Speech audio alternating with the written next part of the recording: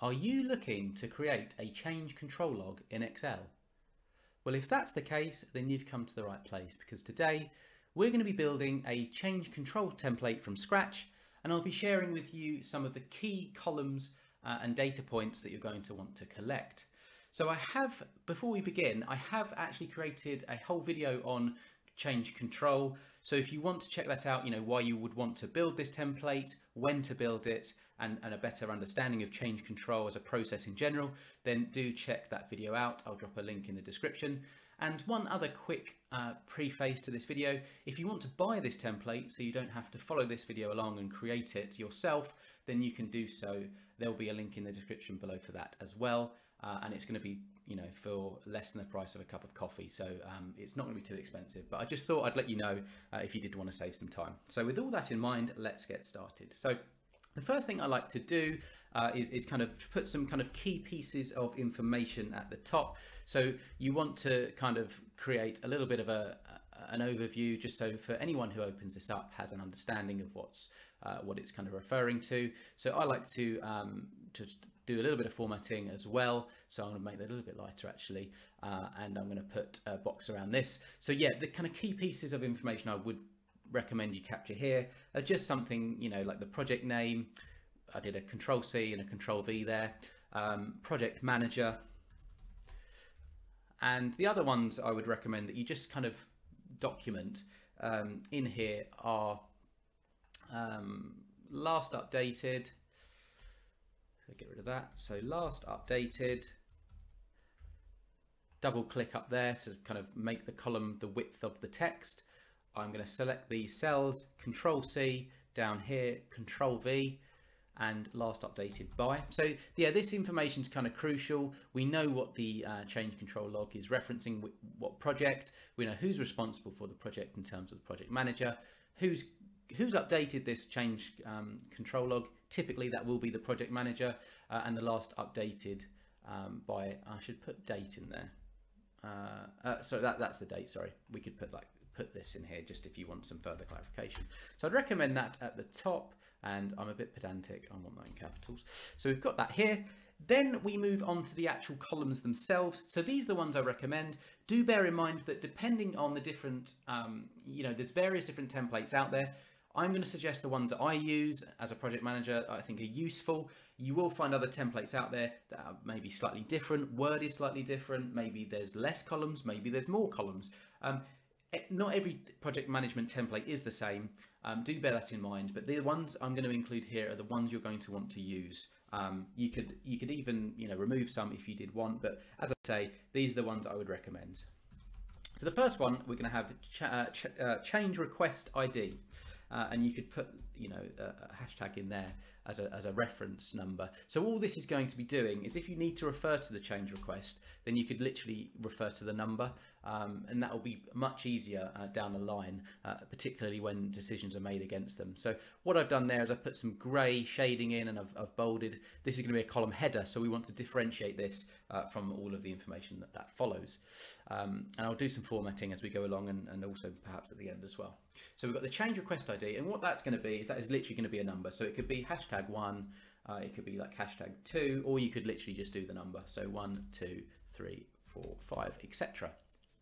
The next column uh, I'm going to suggest is type. So this is the type of change request uh, that is you know being flagged or documented or even raised. So here you could have an example. I'm going to give you some examples of data to include as well as we go along, just so you understand how these columns work. So this could be something like product, or it could be marketing.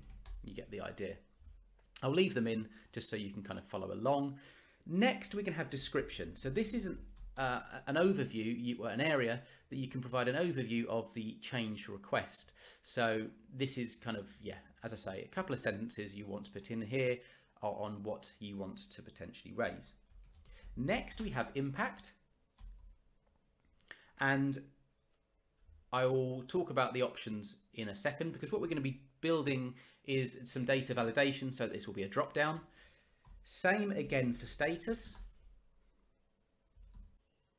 And the same again for priority. Just make sure I spell that correctly. Then I would recommend this column. So report to senior management.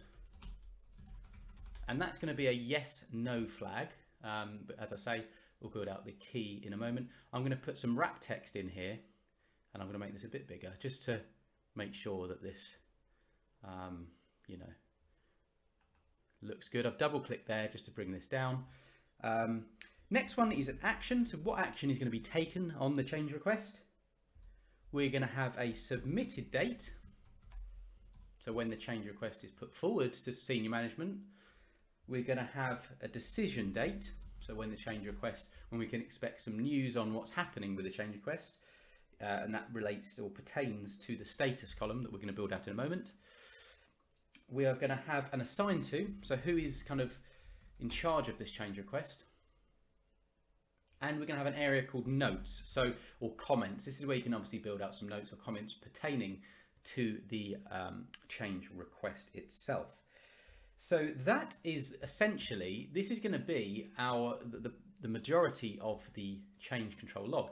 Now what we need to do is we just need to make some amendments just to make sure that we have, um, I'm actually going to wipe this out for now, um, make some amendments just so the, the template works better for us. So as I say, let's build the key out.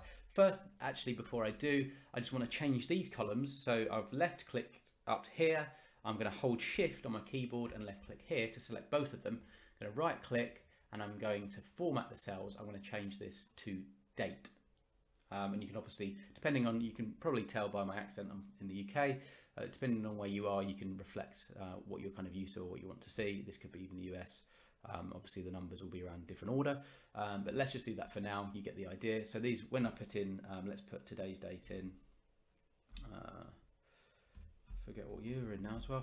Right, so when I put that in, it's obviously going to have that kind of um, formatting. Let's build this across. Now let's build the key. You could put the key at the bottom. Wouldn't recommend it because when you start typing data in and, you, and your change request log builds up, it could get in the way. So what I like to do is scroll across and we're going to build it over here. I'm just going to put the word key at the top.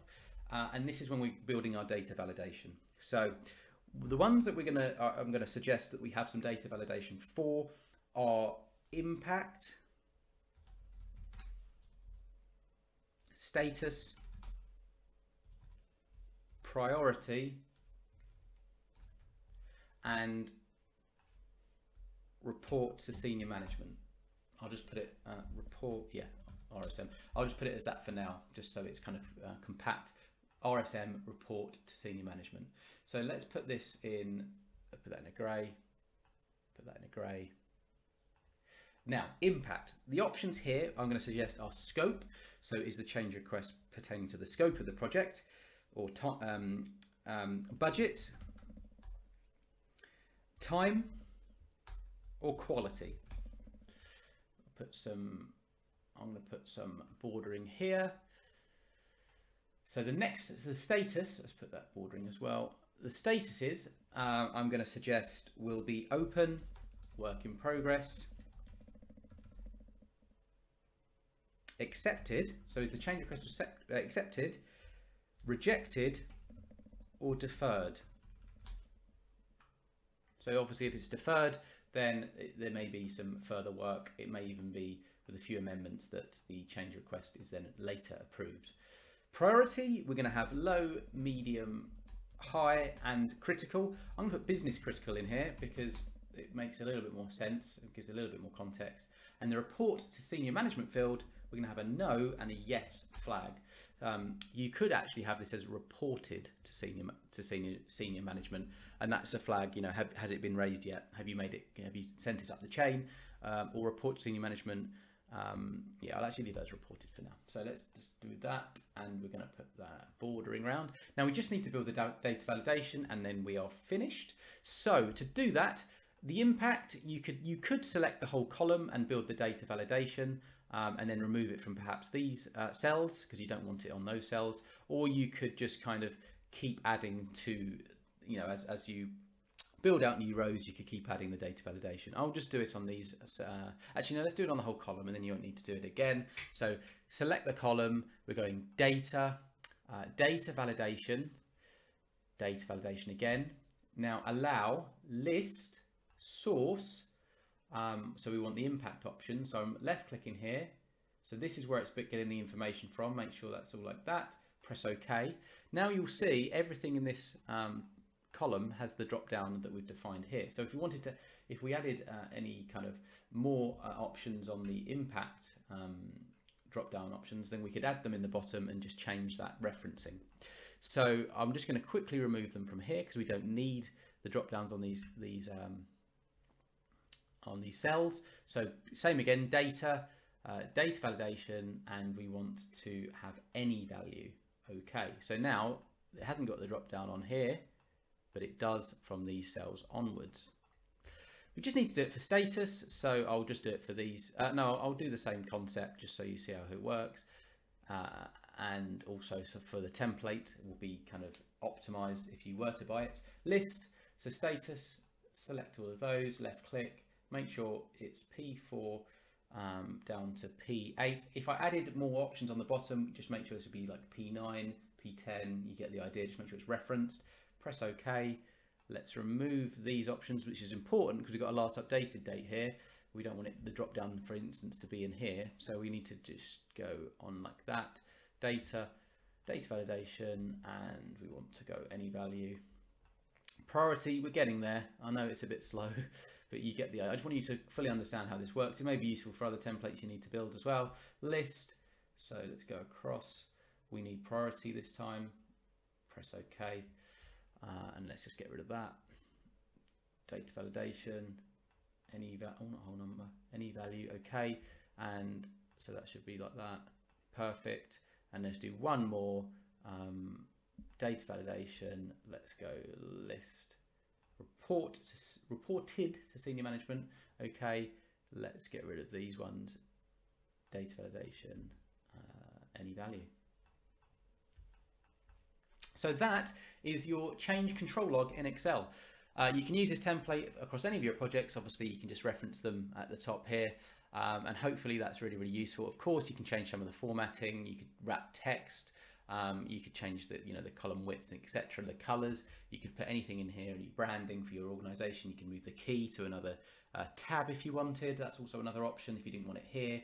Um, but yeah, that's how to create a change control log in Excel. So I hope this video was useful. If it was, please do hit the like button. That tells me I should continue creating videos like this and do consider subscribing to my channel. If you head over to my channel, you'll notice that I've got a lot of different videos on building the core and key project management templates in Excel and even other platforms as well and project management solutions. And I've also got some training on um, project management in general. As I say, I've got one on change control log and that will be a, a link in the description. And finally, if you did want to buy this template, there's also uh, a link in there too. So with all of that said, I hope you have an excellent day.